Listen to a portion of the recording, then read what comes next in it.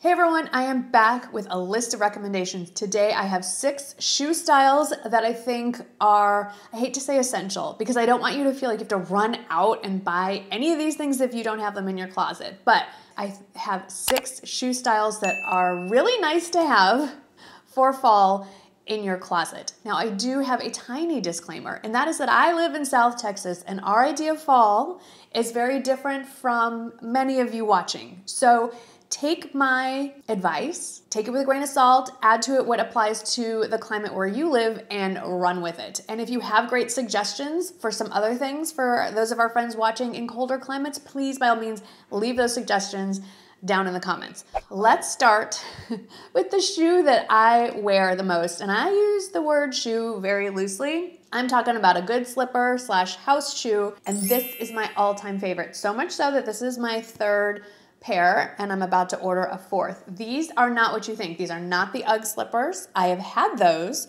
They are lovely for a time and then they get all matted as all of these shoes do that have the either the real shearling or the faux shearling. They get matted down, they get disgusting. The only difference between this shoe and the UGG is that this one, it's from Amazon. It's about 20 bucks or so. I can't remember exactly, but it's affordable. And the UGG one, you're gonna be very upset that you just spent $100 on slippers that you can wear for one season. They are indistinguishable from the UGG version, and they come in a bunch of colors. And I've mentioned this before, but because they're so affordable, I like to get a couple different colors to match my pajamas slash outfits. These are great for walking around the house. They're great if you have to run outside with the dog, go grab the garbage, whatever. Because of the thicker sole, they're suitable for outdoor use. I wouldn't say like go to the grocery store in them. I mean, if you want to be Kathy Hilton, be Kathy Hilton. If you're a Real Housewives of Beverly Hills fan, you know what I'm talking about.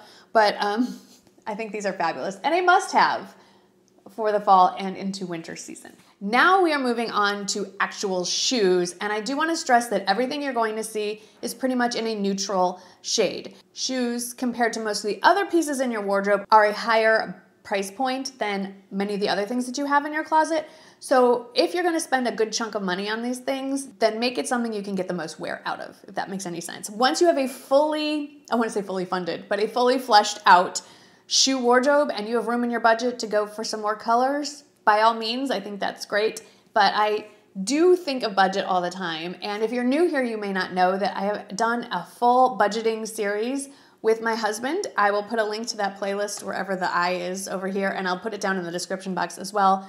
Anyway, let's get to the actual shoes. So, first off, is a look that I struggle to pull off, but I still think it's something that we should all have in our shoe wardrobe, and that is a very basic, low key, low profile white sneaker or neutral sneaker. If you prefer a beige sneaker or maybe a black sneaker, go with what you prefer. And I say sneaker instead of gym shoe. I'm not talking about an athletic shoe that you can wear for fitness and athletic event. I'm talking about a good sort of sneaker slash walking shoe. This one, because it's white, just does not show up on camera the way I want it to.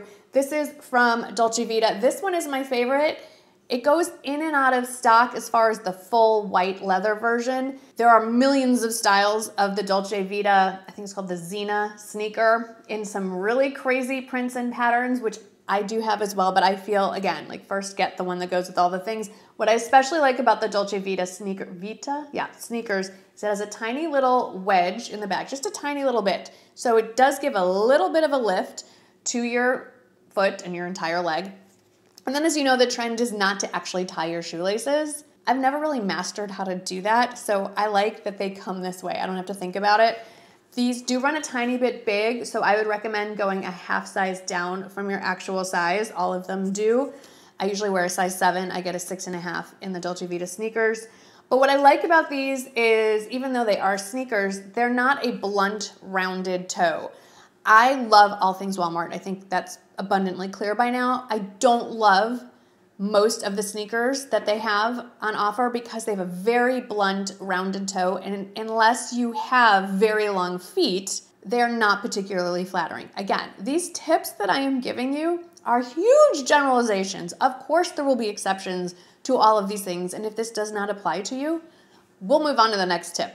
Okay, so I have a few other sneaker recommendations. I love the Madewell Sidewalk sneaker. That's another favorite. Again, in and out of stock, but usually carried every single season. Just talked to a friend of mine who went on a walking tour of Italy. She's a big fan of the Ecco shoes.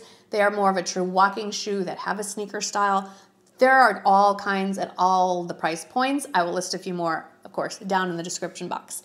Number three of the styles I think are must haves for your fall wardrobe is a loafer. And here you can go nuts. There are so many options. A loafer silhouette is a classic style. It's not going anywhere. It's been around forever and it's not going away. Now, when I was coming up in the years, the big thing was the penny loafer, very 80s, preppy, J. Crew kind of thing.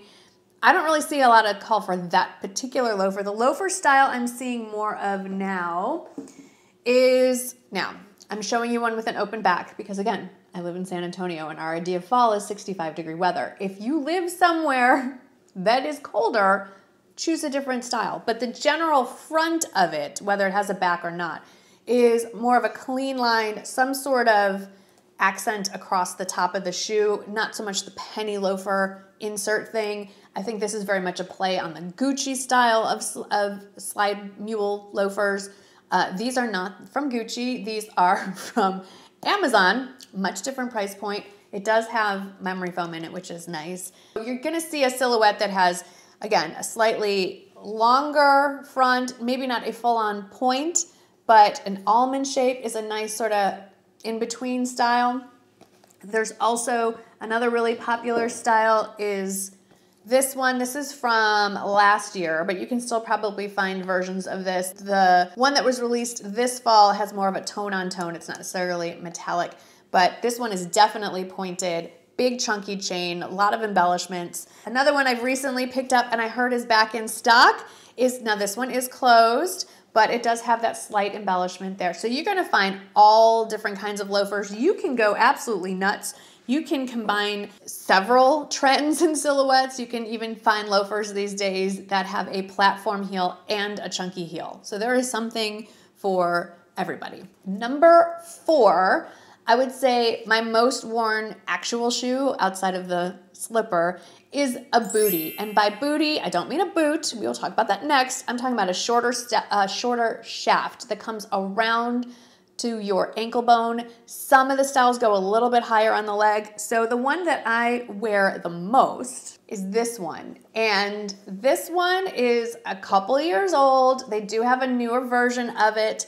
This style is specific in that it has the cutout on the side, which especially when you're wearing it with skinny jeans, can make your leg look a little bit longer. It does make it tricky to wear with socks. I usually don't wear socks with these Sometimes I'll wear a no show if I know I'm gonna be walking in them a lot just so I don't have to worry about blisters. I don't have a specific no show sock to recommend to you.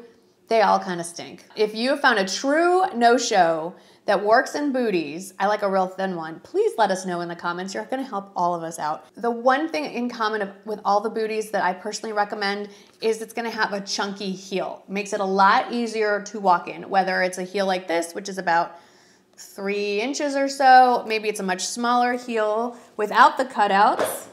Like this one, it's still a chunky heel. It's not a kitten heel or a stiletto heel. They have those out there, and if you want them, of course, but I'm saying like for your basic shoe collection, let's start with a chunky heel. Makes it much easier to walk in. This has a very subtle, tiny little cutout on the side, but a much cleaner look. And is, this one has a little bit more of a rounded toe, but it's still more of an oval almond shape than a blunt edge to it. Now my most recent shoe purchase actually combines quite a few of the trends, but it's still a booty. So this is a booty. It's based on a Chelsea boot silhouette because it has, I believe this is called the gusset. I could be completely wrong, but this sort of thing on the side there is very classic in a Chelsea style. We've also added a chunky heel a heel period. Usually Chelsea boots are flat, pretty flat, and then a lug sole on top of it. This is a lot of different styles going on. I like this one, even though I generally am not a huge fan of the big chunky heel. It makes my chunky legs look chunkier usually. But because this one has a heel to it, it does help elongate my, my legs. And I like the slightly taller shaft because it really looks good with those straight leg pants that might be a little bit cropped. I know a few of you were, were very anxious about the the high water is that what you call them? Where there's skin showing between the cropped straight leg and the bottom of top of your shoe. This bridges that gap so no skin is showing and it shows off the straight leg silhouette and the booty. So it's a win-win there. A very similar style that i picked up during the anniversary sale that is still available. This is more of a western influence you can tell with these additions here and just the way the shoe comes but it doesn't have all the western cowboy style sort of embellishments it is a little bit taller than on the shaft, which again works really well with boot cut, obviously, uh, flare, and the straight leg jeans or pants. And I love the chunky heel. Number five in our shoe must haves is a full on boot. I am not talking about an over the knee boot. I think that's a bonus extra if you want to. But first, let's make sure you have a nice basic just to the knee or just under the knee boot, goes all the way up the calf I have a couple new ones to share with you. Of course, the classic is a riding boot, which I do not think is going anywhere. Mine have actually gone somewhere. Mine are at the cobbler because they need to get resoled and kind of cleaned up. They're over a decade old and they have been through several continents, several, two. Two continents? That's a lot. Two newer to me shoes. The Western style is huge this year, and technically it is a riding boot. Maybe not this one. This one is a little more decorative. This is from Dolce Vita, but there are cowboy boots at all price points, all styles. Do check the description box. I'll list a few options for you at all the price points. But you know, it's a slightly lower heel. This is not a full zip up, but at least it has the zip up opening here.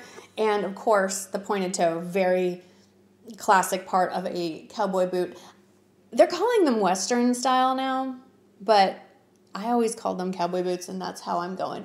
But I got them in this very neutral shade just because it can go with so many things. Of course, they do come in other colors. And I do think if you don't get the nude tone, then the next one would be more like a tan, I think goes with everything. Speaking of tan, if you want a slightly different heel, but something that's still very easy to walk around in, look at this one. This is this is not this is like an inch and a half maybe. I mean it's it's not much of a heel at all. And this particular boot does come in other materials like just plain leather, suede, not with the embossing. But I decided to expand my wardrobe since I have all the basics on a boot and then some. And I went with this. It comes to kind of just below the knee, I would say. Very, very comfortable. And again, great to wear with dresses and skirts. So far, that's all I've worn them with. And then I also want to address wider calves.